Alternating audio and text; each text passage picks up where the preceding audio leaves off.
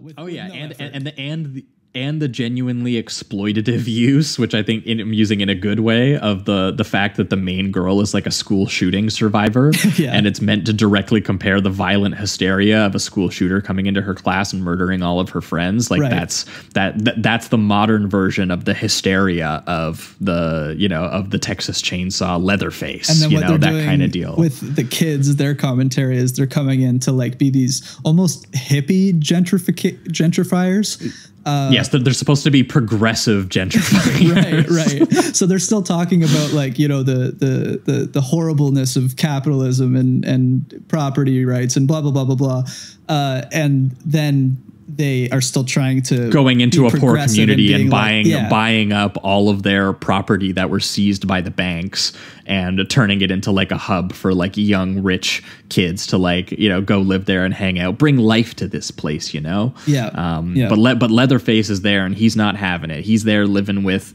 um his foster mom which i i, Yeah. I don't know um Sure. they they okay he felt you know Why not? he, like he, he he lost his uh his family i guess uh, over the years and, then he got- latched then on they- to someone else they took the giant cannibal son and they were like, yeah, just put him in a home. yeah, yeah. But it also seems what like this is a place that he's been for a very long time because they even have the like I don't know if it was you or someone else that put it in their review where they have like the uh the John Wick scene where he breaks the the wall and gets his Yeah. chainsaw that he's had prepared for I don't know decades I guess I suppose. yeah, so I'll give this credit. This has legit jokes in it like that. Um, Yeah, Um, and I was surprised by them. So at first, I wasn't exactly sure if they were trying to be funny, but it gets so excessive are. that I think they are too. And honestly, my whole family. I, I watched this when I was back in uh, in Chatham, so I was with my uh, my whole family, all my brothers and my mom and my dad, and because of the excessive, Everyone was gore- laughing. Yeah, they were laughing their asses off. Like this wasn't a thing, and, and it's even speaking to like like my dad who doesn't really like horror movies and doesn't really like um, over the top gore and stuff. I think this was so excessive to him that even he found humor in it, which says a lot.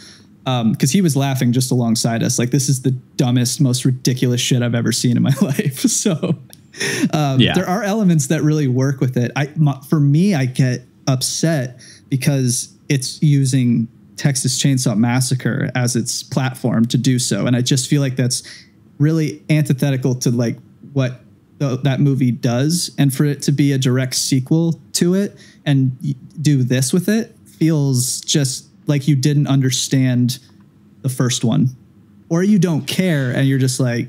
Fuck it! I want to make a blood. yeah, I, I think that's what some people who are you know taking more to the film are are thinking is that the film just doesn't give a shit. It's doing a huge like fuck you, whatever. Jason. We're just making. Yeah, they basically just make him, him Jason, which is something. a word like a, a, a shrine to his dead mom and shit. Like it's Friday the Thirteenth. Like and they use they even use uh, shots from that I would say are from The Shining, where when he goes into the wall to try to get the the chainsaw, the camera follows him as he's axing the wall. Like it's the exact Right. same shot. They they did a lot of uh, taking from other films that I love and just kind of putting them into this crazy Texas Chainsaw movie.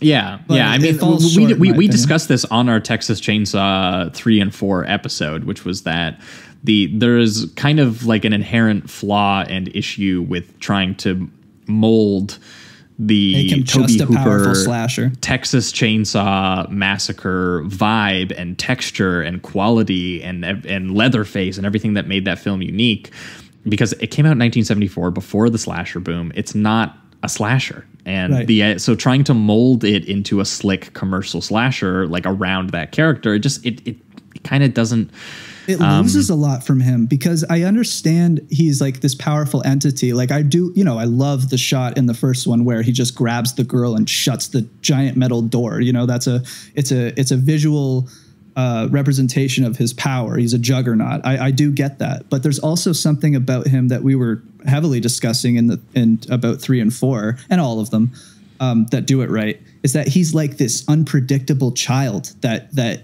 is is kind of lonely and doesn't understand how to interact with people and gets into these kind of spastic moments where he gets kind of frustrated and acts out in violence because of it. And well, and the way really that he's here. shot is he he's really abstracted Yes. in a lot of ways when he's shot. Like he Yep. he is inhuman, he is existential, he is you know there's a sheer chaos and terror to the way that you know he moves and the way that he's used and yeah just by making him a really big strong guy with a big weapon is something that didn't work about uh, Texas Chainsaw 3 for me. That was a huge issue for me. And I think Right. this one does it better because at least this one is insanely fucking Or- gory and over the top to the point.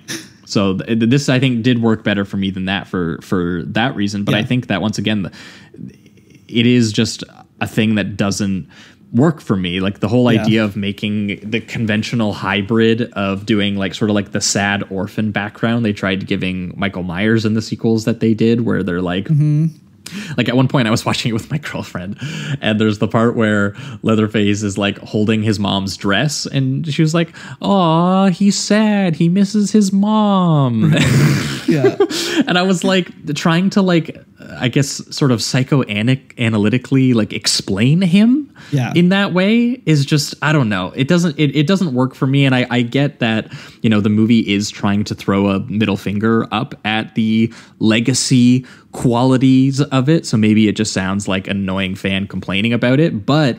Mm-hmm. I do think that if that's what the movie wanted to do, they wouldn't fucking bring up Texas Chainsaw the original every fucking two seconds and say we are direct sequel to the original. Like it fucking I opens that's on a, a literal explainer of here's what happened last time on the Texas Chainsaw Massacre.